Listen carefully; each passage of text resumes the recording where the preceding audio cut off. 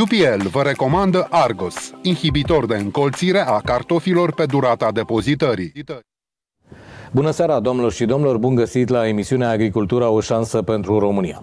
Ne bucurăm că anul acesta pe care ne pregătim să-l încheiem, a fost unul nu rău pentru agricultură. Nu spun foarte bun, în ciuda declarațiilor optimiste și a cifrelor amețitoare care defilează prin statistici, dar n-a fost un an rău, dacă îl comparăm cel puțin cu 2020. Trec peste triumfalismul recoltelor atât de mari încât n-am mai avut de când am intrat în Uniunea Europeană.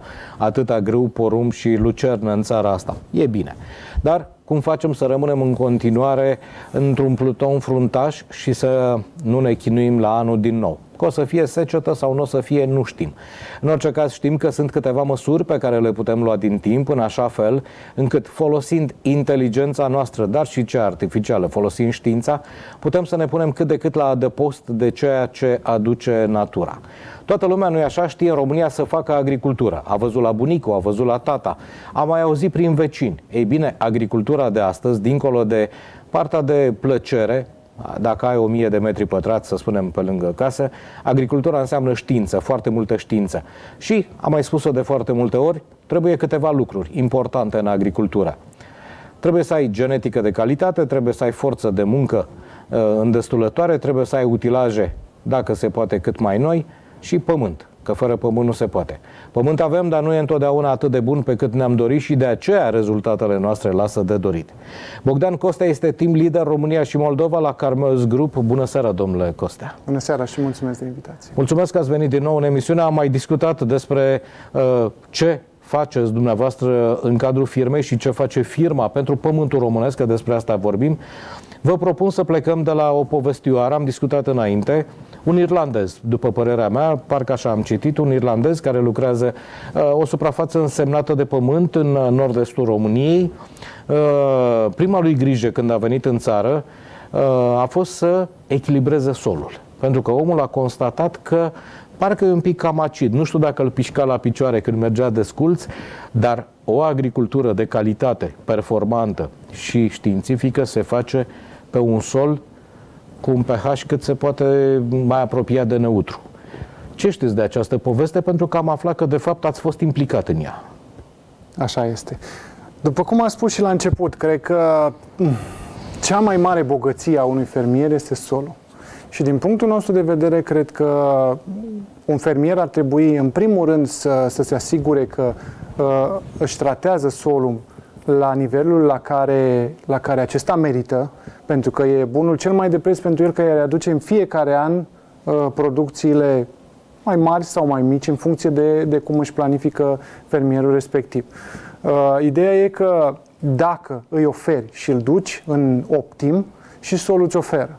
Ca să ai un sol în optim, înseamnă, să, înseamnă ca acel sol să aibă proprietăți fizice excelente, să aibă proprietăți chimice excelente, să aibă o viață microbiană și organisme în sol ca să-ți asigure uh, ca să-ți asigure materia organică și tot ce au plantele nevoie și, uh, bineînțeles, toate lucrurile astea coroborate trebuie să uh, facă de așa natură încât aerul și apa să penetreze extraordinar de bine și să, să conlucreze în acest conglomerat. Vă propun să rămânem pe partea chimică, pentru că despre uh, proprietățile fizice ale solului vreau să pornim de la un alt exemplu acum, că toată lumea vorbește de til, no til, da? O să vreau să discutăm, e foarte important.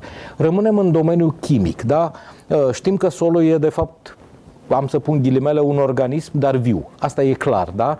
Și la fel cum noi avem nevoie de nutrienți pentru a ne duce viața mai departe și solul are nevoie să se recupereze după ce îl exploatezi un an de zile din punct de vedere agricol. Poate ai pus prea multe îngrășăminte, poate ai pus prea puține, poate l-ai tasat, dar rămânem, aia e cu fizicul, discutăm mai târziu. Um, acel uh, irlandez de care vorbeam a constatat făcând analiza, pentru că uh, noi suferim de, de mania de a nu face cartarea agrochimică și o să vorbim de cum se face cartarea. Uh, a constatat că nu se poate apuca de treabă până nu-și însănătoșește solul.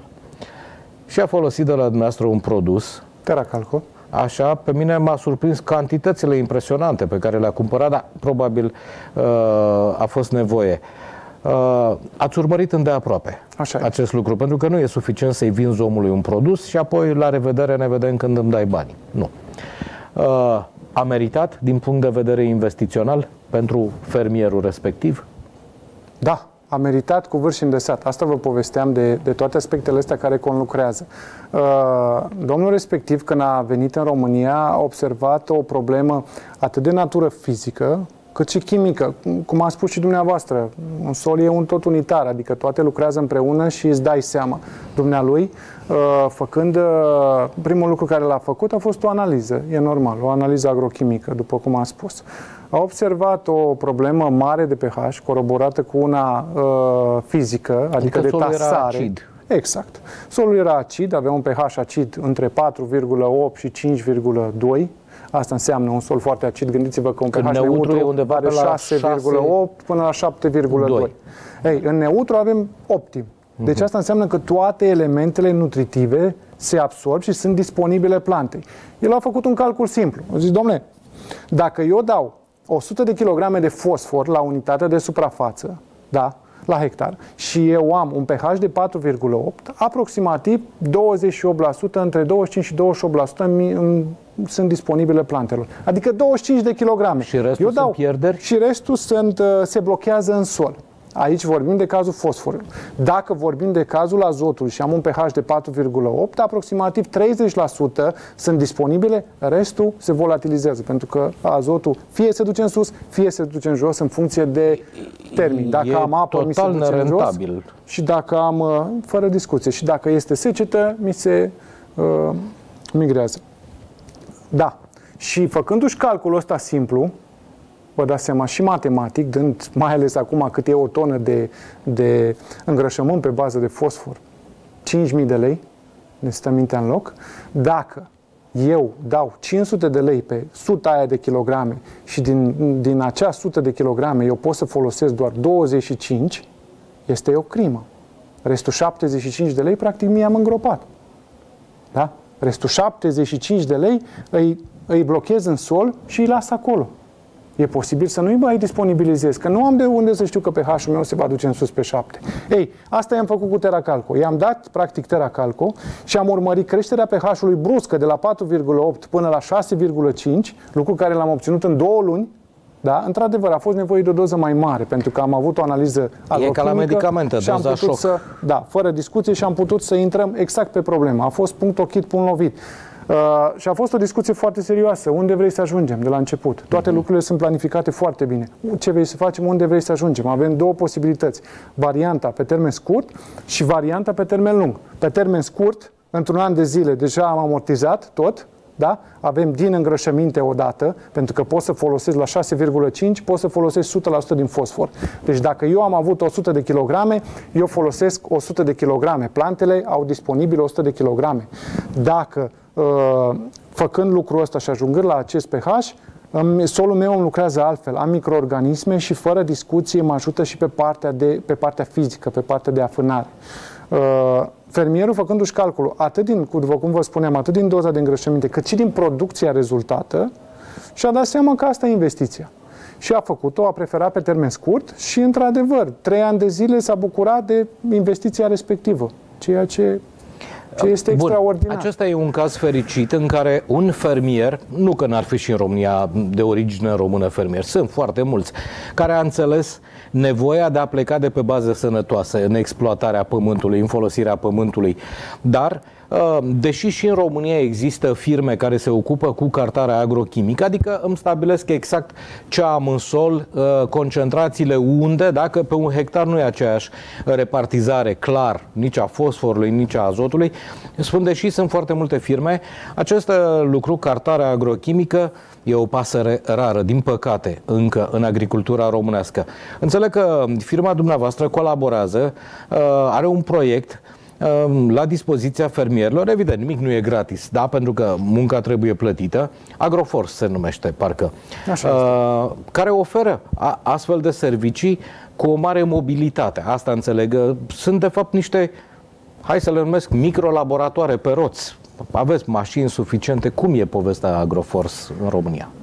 Da, cum ați, uh, uh, cum ați ghicit, de fapt, Agroforce a plecat de la nevoia asta Să știți că n-am ghicit, m-am documentat înainte. cer scuze.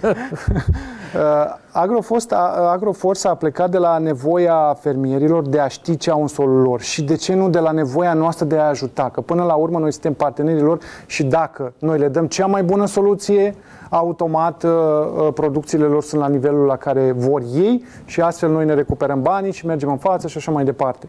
Ideea e că uh, ne-au specificat că întâmpină diverse probleme. De la prelevarea manuală, care încă se mai face în România, până la uh, lipsa discuției cu fermierul. Ori, într-un astfel de proces de uh, cartare agrochimică și lucrul ăsta ar trebui să fie lesne de înțeles și pentru toți fermierii este valabil. Cel mai important pas este discuția care o are fermierul cu respectiva firmă. Da? Cum avem noi discuții cu fiecare fermier unde mergem cu acest uh, serviciu, cu colegii noștri de la Agroforce. Adică discutăm ce a fost pe solul respectiv, care au fost ultimele producții pe anii anteriori, pe ultimii 5 ani, ce cum Ca se lucrează. Medic. Exact. Când vă întreabă Fără ce a discuții. fost în urmă. Oare cum e pe bucata asta? Ți se pare că solul se lucrează la fel? E omogen? Pentru că la cartare cel mai important lucru e omogenitatea solului. Adică sola respectivă poate să-ți aibă 100 de hectare sau din potrivă 100 de metri și să fie total diferită. Dacă fermierul respectiv te ajută și îți dă îți dă o, o direcție, tu poți atunci pe GPS să-ți faci imediat împărțirea corectă uh-huh. și cât mai omogenă a solului. Ți-ai făcut împărțirea corectă a solului, cum face Agroforce, apoi își stabilește pe GPS punctele unde vine și prelevează probe, le înțeapă cu prelevator pneumatic, automatizat, adică dacă zic că le-am înțepat la 20 de centimetri, le-am înțepat de la 20, nu ca la prelevarea manuală la 15, 18, 17, 21. Lucrul ăsta contează foarte mult. Gândiți-vă logic, da? Am un volum, lungime, lățime, da? Și înălțime. Avem 100 ori 100, cât are un hectar, ori 20 de centimetri, da? Asta înseamnă 10.000 ori 20, 2.000 de metri cub de sol. Adică trebuie să știu foarte bine adâncimea până la care iau. Că dacă iau la 21 de centimetri, am 2100. Dacă iau la 19, am 1900. Adică sunt niște lucruri care sunt foarte, foarte importante. Uh-huh. De metri cubi, mă refer, de toni. Ia, nu, de asta vorbeam de știință, că Fără, e, e deci nu, nu, nu se poate, nu poți să te joci cu așa ceva, trebuie să ai fix la 20 de centimetri. Dacă ai la fix la 20 de centimetri, atunci poți să-i calculezi și o densitate aparentă, să vezi exact solul respectiv, cum se, cât are în componență, cât fosfor are, cât azot are, cât potasiu are, câte microelemente. Practic asta face Agroforce. Vine, uh, discută cu fermierul, după care stabilește punctele de prelevare pe, pe GPS și merge cu, uh, cu SUV 4x4, intră pe, intră pe tarla și o ia din, din față în funcție de cum îi prezintă GPS-ul uh-huh. și, și prelevează fiecare punct. În jur de 20 de înțepături la hectar, uh, înmagazinează, ce să vă spun, în jur de 350 de hectare fiecare autoutilitară uh, de-a colegilor noștri. Asta înseamnă având șapte autoutilitare, avem o capacitate destul de mare. Putem să facem... Trebuie să pun o întrebare. Apreciez rigurozitatea științifică a prelevării probelor de sol la 20 de centimetri, nu 19, nu 21, dar ca fermier, uh, dincolo de faptul că înțeleg necesitatea, vreau să am o hartă chimică a solului, da, cu potențialele probleme, cu zonele cu probleme, Mă întreb dacă după ce apelez la serviciul dumneavoastră o să mai rămână bani de sămânță. E o întrebare pe care și-o pune orice fermier. Costurile sunt suportabile? Da. După... Și avantajul folosirii... Da. E o investiție, să-i spunem, nu Mi o se pare corect, fără discuții. Uh, Asta e primul lucru care îl face. După aia vine, prelevează. După ce prelevează, se duce în laborator, ajunge la un laborator acreditat în Uniunea Europeană, uh-huh. unde vine și spune cât am azot, cât am fosfor, cât am potasiu și așa mai departe, Dar microelemente. În laboratorul nu, nu, nu în România. Nu în România. Păcat. În fine cum să vă zic, a, facem și în România, facem, trimitem și la niște laboratoare din România, dar în cazul colegilor noștri de la Agroforce au preferat să fie un Am laborator înțeles. UE acreditat cu toate normele necesare. Ca să nu existe discuții. Ca să nu existe absolut nicio discuție. Vin, după ce vin, ajung niște, uh, niște fișe de fertilizare și niște hărți apar uh-huh. hărțile cu toate elementele, cu pH-ul, cu aciditatea hidrolitică și așa mai departe, plus uh, recomandările, care sunt foarte importante. Cu ce fertilizezi anul ăsta?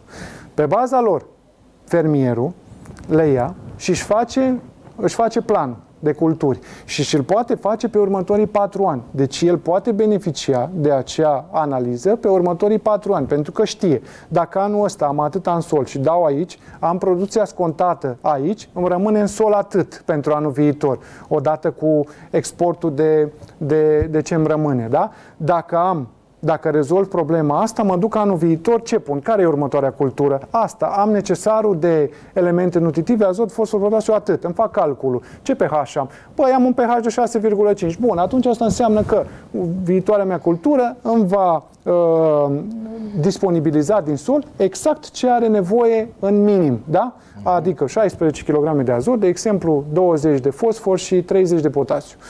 Uh, lucrurile astea sincer, pentru, pentru fermier nu sunt o investiție atât de mare. Adică stai și te gândești că ai undeva la patru ani, dar și dacă ar fi un singur an, dacă ai, să spunem că te-ai uh, ai profita de ele, ai ajunge la producția ta scontată, tu plătești pe ele în jur de 12 euro. Deci asta înseamnă undeva la 60 de lei.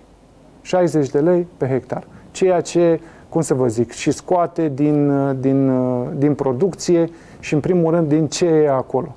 V-am întrebat pentru că văzusem uh, un articol uh, chiar pe site-ul dumneavoastră. Mi se pare un fermier care spunea că folosind, de exemplu, Teracalco sau uh, Șifan, aceste analize de sol, a obținut un plus de 600 de kilograme de grâu la hectar. Și făceam acum un calcul, mi-a spus 60 de lei pe hectar, plusul de 600 de kilograme de grâu, nici nu mai pun prețurile mari de anul ăsta, da, deja e rentabilitatea, e mult peste ce mă așteptam. Da, și să știți că ăsta 600 de kilograme e un caz mai puțin fericit. Da, adică da, dar nu chiar zic, rentabilitatea cu... există da. deja de la această da, limită da, de jos da, de supraproducție. Da. da. Asta e foarte important că ceea ce am oferit noi și rigurozitatea sub care am oferit-o uh, ține cumva de, nu doar de anul în curs și de ceea ce oferim în anul în curs, ci, ci, ci și anii care urmează. Adică asta zicea și fermierul irlandez, că povesteați de el. Cea, domnule, eu știu că investiția care o fac acum este și pentru următorii 2, 3, 4 ani. Asta Lucru trebuie care înțeles. este wow. Această adică... cheltuială inițială, de fapt, ea se repartizează în ani prin beneficiile pe care le aduce. Rămâne tot o investiție cu amortizare în timp, în patru ani, să spunem, da? Noi zicem că avem amortizare în primul an aproape de fiecare dată, cel puțin fermierii și care au mai fost, uh, care au mai vorbit, uh-huh. pe unde uh, au mai dorit cu colegilor și care ne mai spuneau Uh, și cum le, exact cum le calculam noi, adică nu, nu prea ai cum să nu obții beneficii utilizând uh, Teracalco, de exemplu, sau utilizând analizele de sol de la Agroforce, pentru că ai niște aspecte foarte clare, da? Folosind Teracalco, ai rezolvat problema de uh, problema fizică a solului, ai rezolvat-o pe cea chimică, biologică și ai mers mai departe spre uh, uh-huh. prevenția problemelor care pot apărea lucru care îți aduce automat un plus de producție în, în anul respectiv. Ca să nu mai spunem de consumul specific al plantelor de cultură în calciu, care e un lucru uitat de fermier, dacă fac divers, rapiță sau floarea soarelui, să spunem, sau chiar soia, sau consumă calciu, nu știu dacă știut, dar consumă calciu pe tona de, de, de produs mai mult decât fosfor. Mult mai Eu, mult. De exemplu... adevărul că într-un lan de rapiță m-am simțit ca slăbit în oasele, am simțit că mi se moaie, deci de la consumul de calciu, glumesc. Avem undeva cam 60 de kilograme de, de consum uh, per tonă de calciu versus 30 uh, de fosfor, adică la rapiță. Dar lucru câți, care ar trebui să ne știu lucrul ăsta și țin cont de el? Că e important. Să știți că dacă aș sta să mă gândesc de când am pornit noi, din, din, de la începutul 2015-2014, uh, atunci aproape niciunul. Acum deja constatăm cu, cu satisfacție că am contribuit poate foarte mult și pe partea asta de educație. Noi, fiind permanent prezenți în ferme și povestindu-le Asta ține de responsabilitatea da, socială, da, pentru că e nevoie da, mereu de un proces da, educativ. Asta e. Asta e, să știți. Chiar stăteam și mă gândeam că am contribuit foarte mult la, la creșterea sectorului ăsta. Acum, domnule că... Costea, faptul că v-ați popularizat și în acest fel produsul nu e rău, pentru că marketingul câtă vreme nu depășește uh, limitele bunului simț, e acceptat, evident. Și e un câștig dublu. Și dumneavoastră aveți o bază de acțiune pentru vânzările viitoare, dar și fermierul înțelege că, de fapt, mai are de învățat și aplicând metodele științifice, da, câștigă el financiar, are profit pur și simplu. Da? Mie mi se pare o simbioză bună de această dată. Așa este. Așa este și noi tot pe, pe aspectul ăsta am mizat pentru că, după cum vă spuneam, pentru noi cel mai important este ca fermierul să, să aibă un an bun. Fermierul să, care folosește produsele noastre și nu numai, să, să demonstreze că, că a fost mai, mai bine. Povesteam cu un fermier din uh, Bihor chiar ieri și spunea, domnule, am avut o tonă jumate în plus la porumb. Unde am dat versus unde n-am dat. Și un lider de opinie în zona, în zona respectivă. E cel mai bun domnule, exemplu. Este extraordinar. N-am ce să spun. Produsul tău mi-a adus anul ăsta 1500 de lei în plus. Punct. Bun. Uh, dacă vă spun că mai sunt doar 3 minute până la pauză, o să spuneți că nu e adevărat, dar e adevărat. Um, o da. să discutăm de chestiuni fizice în partea a doua de sol, dar vreau să vă întreb așa. Sigur, orice produs are un cost de fabricație și apoi el trebuie vândut cu un oarece profit sau măcar să se întoarcă cheltuielile. Această perioadă tulbure pe care o trăim, de când a venit pandemia, de când sunt probleme cu transportul, v-a afectat? Dacă da, mult, dacă nu, cum, cum ați făcut acest transfer de la prețurile constante relativ de odinioară la ce e astăzi? Să știți că ne-a afectat destul de mult. Noi, uh, producând cu energie, în special cu gaz, și, și folosim foarte mult curent electric, uh, am avut de suferit în producție. Am încercat cumva să le dăm răgaz fermierilor. Am încercat, am avut situații chiar foarte multe în ultima vreme în care le-am am preferat să dăm la prețurile dinainte doar pentru a-i ajuta, adică dinainte de, da, de mărirea respectivă. am, financiar am pare că, pierdere, iertați-mă. Facem, uh, o să facem mărire peste două săptămâni, încheiați uh-huh. discuțiile care le aveți acum cu fermierii respectivi unde ați făcut oferte, asta le spuneam distribuitorilor și, și finalizăm. Adică am făcut și lucrul ăsta chiar dacă, da, am, păi am se va reflecta în bilanțul firmei. Anul, da, să știți că am preferat, cum să vă zic, un, uh, sună ciudat, dar am preferat un, un parteneriat stabil. Până la urmă, și să noi vă aveți țintim, clienții da, în continuare. Asta este cel mai important lucru. Adică, noi dacă, dacă, nu, dacă nu sufeream și noi puțin, era nu era corect, pentru că ei vedeau, văd lucrurile astea. Să știți că sunt, mai ales clienții din, din, din agri, fermierii, sunt emoționali, cumpără emoțional, lângă el trebuie să fii. La el nu merge că astăzi i-ai spus o poveste, poi mine îi mărești Deci ca să înțelegem, gata. ați împărțit am împărțit potențialele cumva. pierderi. Da, da? da N-ați da. lăsat totul în seama fermierului. Nu, n-am lăsat totul în seama fermierului și o spun cu maximă responsabilitate.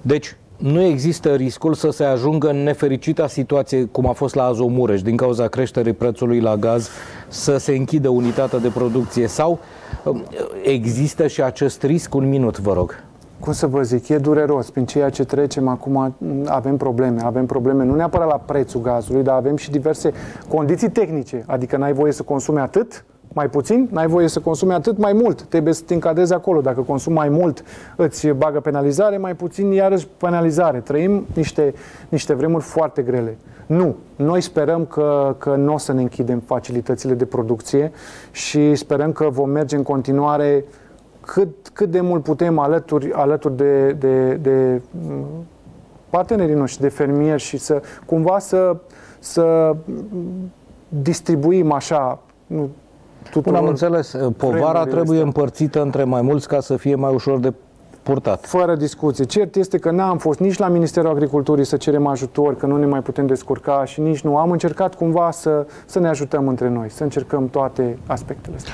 Mulțumesc că ne vedem după pauză, pentru că asta da. e, trebuie să luăm pauza de publicitate. Bogdan Costa este team leader pentru agricultură România și Republica Moldova la Carmeus Group. Discutăm despre sănătatea solului și cum să o păstrăm sau să o îmbunătățim atunci când e nevoie. Aici la Agricultura o șansă pentru România. Ne revedem în câteva minute.